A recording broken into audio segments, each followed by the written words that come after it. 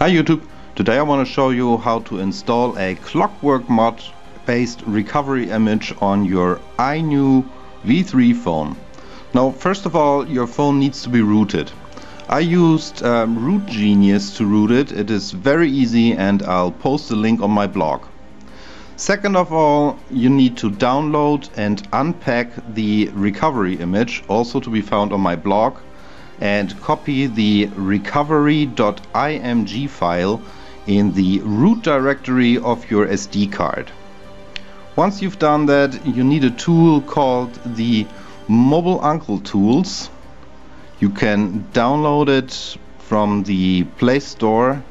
It looks something like this, Mobile Uncle MTK Tools.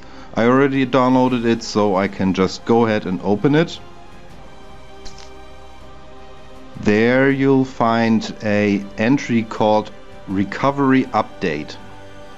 When you click on it, it'll find the recovery.img file on your SD card. Tap on it, it'll ask you if you're sure if you want to flash the recovery. You press on OK, wait for a few seconds and that's it. It'll ask you if you want to reboot into the recovery mode just for fun of it, let's test it if it worked.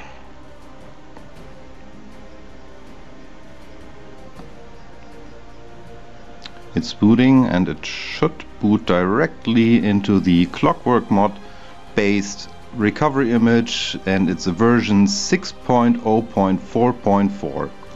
That's pretty much it. If you have any questions, please don't hesitate to leave comments and please uh, visit my blog for a written instructions. Thank you so much for watching.